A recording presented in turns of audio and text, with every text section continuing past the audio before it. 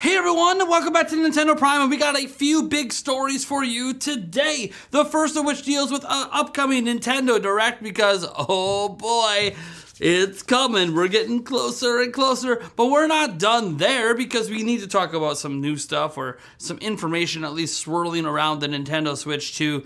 Yet again, what a surprise! These are probably going to be common topics all month. And we do have an update on the upcoming DLC for Pokemon Scarlet and Violet, thanks to previews dropping in Japan. So, what are you waiting for? Go ahead and subscribe to the channel, drop a like. We're on our road to 150,000 subscribers, and ringling that dingaling so you can be notified of all future uploads. This is Prime News, your 3 p.m. show, and let's get into the news.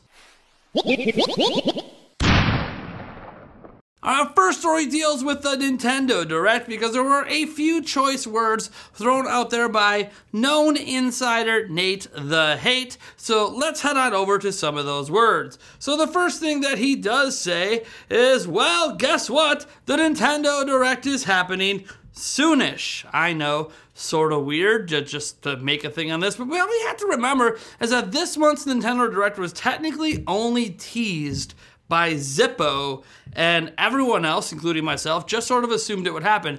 Even Jeff Grubb, who originally teased a September Direct over a month ago, has now sort of stated that he doesn't think we're getting a September Direct because of the Mario Wonder Direct.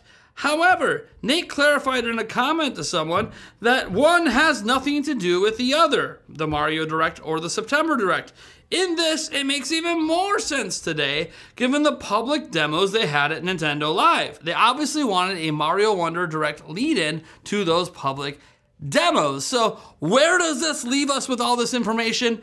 Well, it just leaves us still not knowing when the direct is happening, just that it is. So, please look forward to it. That's really all we have. I know it's not much, but it's it, it, it's just like a a little something to keep our minds going on the next Nintendo Direct. Now, next up, we have some leaked details coming from Serebii.net about, well, we call them leaked details. They come from previews in Japan for the Teal Mask DLC. So let's just dive into what those details are. It's a little convoluted, as Pokemon information tends to be, but you know what? It's still new. So the first bit of information we have are that TMs are in the game. Famitsu notes that the moves Grassy Glide, Burning, Jealousy, Lash Out, and Poltergeist were seen as well as Toxic.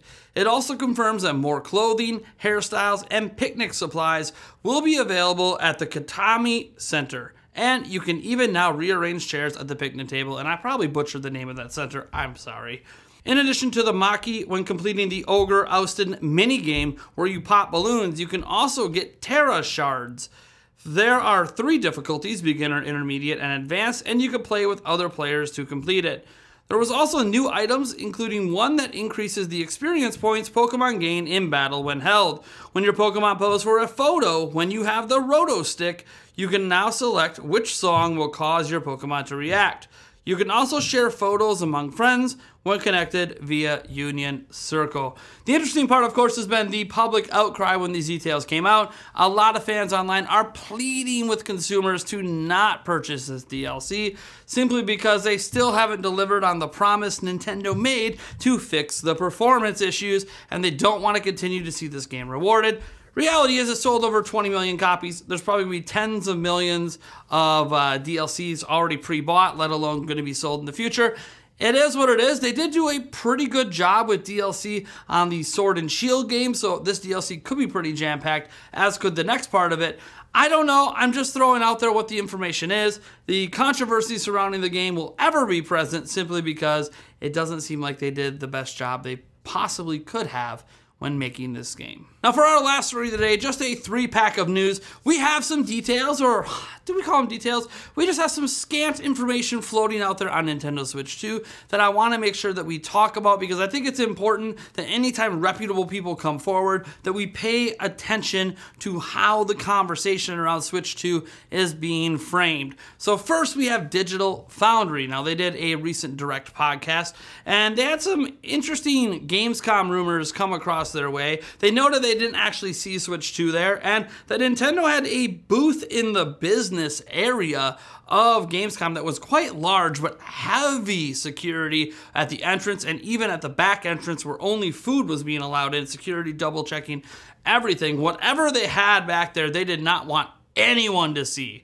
So while we know Mario Wonder was being demoed there, that could have been in a separate area. This particular area was heavy, heavy security, and we heard that they were talking to third-party companies about the next Nintendo system. So chances are there could have been some details in there, and Nintendo just didn't want it to get out. But they did hear a bunch of rumors and a bunch of you know information. However, they're not like, they're just not going to share what they heard at this time because they want to get a bunch of verification first, which should come in due time, maybe by the end of the end of this month or so after Tokyo Game Show.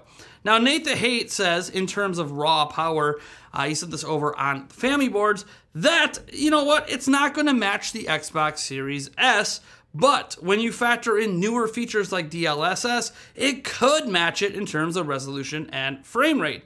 Basically, in all the ways the power cap may suggest that it can't.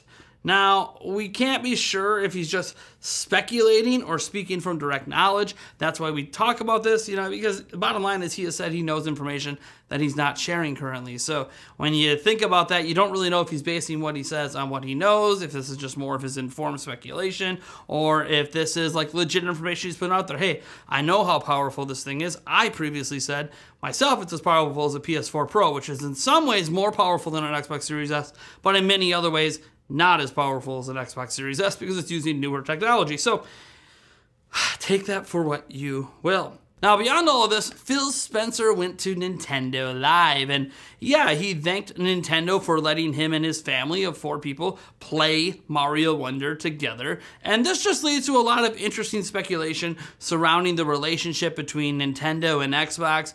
Obviously, we know Phil Spencer is a big fan of Nintendo. He's called them a treasure. If they were ever in threat of going out of business, he would do what he can to make sure that didn't happen. And beyond all of that, we know a lot of Xbox stuff goes over to Switch. Minecraft has been a massive success on Nintendo Switch, an absolute bestseller, maybe the best selling third party game of all time on Nintendo Switch. And we're not even done because they also bought out Bethesda and other studios that were bringing games like Doom, Doom Eternal, and the Wolfenstein series over. And maybe this is just a sign that relationship is continuing to grow between Nintendo and Phil Spencer, which means the relationship's continuing to grow between Nintendo and Xbox. Of course, the number one speculative thing people want to talk about is the possibility of Xbox Game Pass coming to the next Nintendo system.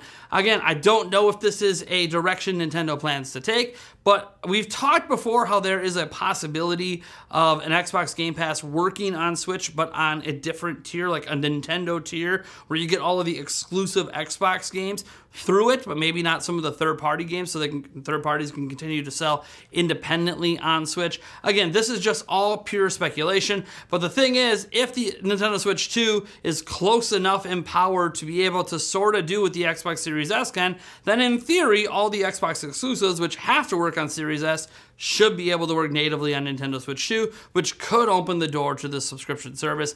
Again, they want it on everything. The big bugaboo is that you need Xbox Live or you know, you need that account system there. If Nintendo could somehow allow that account system on their platform in addition to their own, then maybe this is a possibility that we could see in the future. Again, mostly speculation. All we know is Phil Spencer went there, was seen publicly, posted publicly, and said he was playing Mario Wonder, and he had multiple passes on him. He wasn't just there as like a, oh, you know, I'm just a general consumer who bought a pass. No, no, he was a special guest invited by Nintendo. So take that for what you will. There was probably business meetings as well, because there always is. Doug Bowser and you know Phil Spencer were in the same building at the same time. So you know, and Nintendo Live was an exclusive event. So take that for what you will. Anyways, guys, thank you so much for tuning in. I am Nathaniel Robots from Nintendo Prime. Sort of a shorter Prime news today, but you know what?